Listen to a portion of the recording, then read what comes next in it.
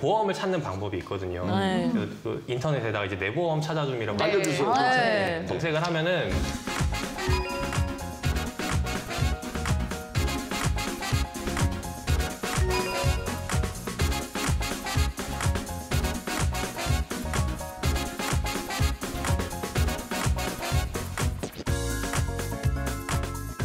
실제로 내가 보험을 가입하고 있는 내역이 쫙 나오거든요. 그래서 거기에 대해서 내가 보고 이제 이거는 좀 아니다 싶은 것들은 이제 좋네요. 빼고 할 수가 있으니까 네. 이제 그 링크를 살펴보시면 좋을 것 같아요. 이번 보니까요. 저는 일단은 안보험이 있는데 여성 안보험이 있어요. 이게 여- 사실 여성 특화된 안보험이라고 해서 파는 건데 안보험, 여성보험 이 두 개는 분명히 겹치는 부분이 있을 거라고요. 그렇죠. 심지어는 통합보험이 있어요. 여기 있는 것들이. 다 합쳐진 게 통합보험인 거예요. 그래서 안 겹칠 수가 없습니다. 네.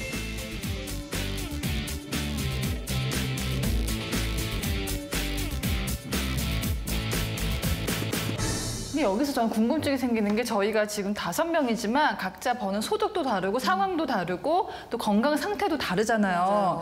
내가 지금 내고 있는 보험료가 적은지 많은지를 좀 판단할 수 있는 기준 같은 건 없을까요? 이렇게 해야 된다라는 그게 없지만 평균적으로 저 재테크하는 네. 사람들이 추천하는 게 있잖아요. 근데 평균적으로 자기 근로소득, 그러니까 이거는 가장, 네. 그러니까 가정의 소득을 책임지는 사람의 기준으로 했을 때 8% 정도가 사실 적정한 보험료다. 예를 들면 100만 원이라고 하면 한 8만 원 정도만 하는 거니까 그 이상은 사실 좀 더 많다라고 할 수가 있는 거죠. 제가 볼 때는. 그래서 만약에 뭐 우리 가정이 한 100만 원 벌고 있는데 한 2, 30만 원 보험을 내고 있다가 무조건 줄여야 돼요. 다이어트 해야죠. 다이어트가 필요한 비만 상태라는 거죠. 제일 네. 알기 쉬운 건요.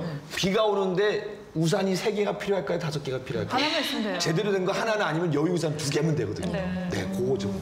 네, 사실 저도 비슷한 생각을 가지고 있는데, 그러니까 연봉이 좀 작으면 저는 5%까지 내려가야 된다고 생각해요. 더 내려가서. 더 내려가서, 네. 그래서 없어서는 안 되고 정말 최소한의 꼭 필요한 정도로만 하고, 저는 정말 주계약 다이어트를 너무나 확실히 해가지고 주계약이 이 보험들 종류들 중에서 제일 작은 것에다가 네. 그 나머지 보험들이 갖고 있는 특성들 중에 제가 가지고 있는 집안 내력 질병이라든지 아니면 현재 가지고 있는 뭐 질병이라든지 요거에 관련된 특약들 중에서 제일 좋은 걸 찾아서 네 그거를 그것만 붙여놨어요. 저한테 특화된 상품으로.